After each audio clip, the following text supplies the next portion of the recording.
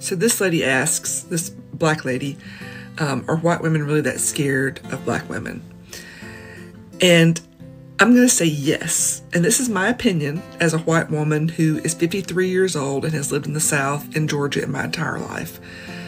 And, but it is, it's not being scared, but it's a fear. And it's not a physical fear, it is the mental fear.